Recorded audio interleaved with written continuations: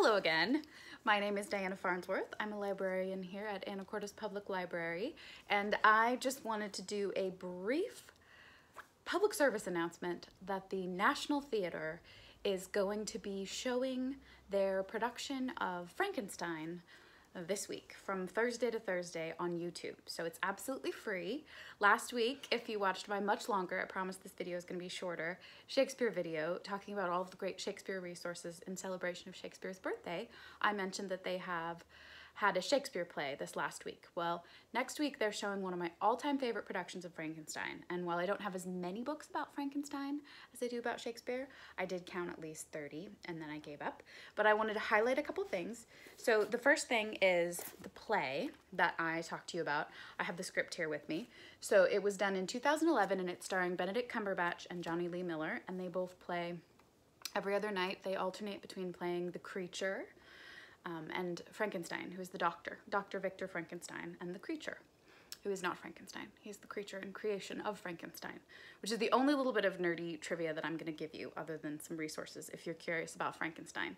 I know some of you who are in high school end up reading the play, so the first thing I wanted to tell you, other than to watch the play if you're interested, although it does have um, some adult themes, is that you can read Frankenstein on Hoopla or on Overdrive. It's available there, so you can read the classic book if you want to. If you are like me and you end up wanting to know a little bit more about it, you can read The Lady and Her Monsters, which is on Hoopla. I think it's an audiobook on there, so you can listen to it. And it's called A Tale of Dissections, Real Life Dr. Frankenstein's and the Creation of Mary Shelley's Masterpiece um, by Roseanne Montillo.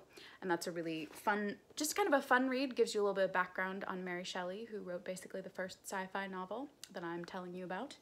Um, and then the other fun thing that is on Hoopla right now that you can stream is Frankenstein by Gris Grimly. So it's the original story, but as a graphic novel. It's kind of a hybrid. There are quite a few adaptations of Frankenstein um, on Hoopla available. But this is one of my favorites. Obviously, it's one I own, so I wanted to tell you about it. But if you are a fan of theater or Frankenstein, please check out the National Theater production.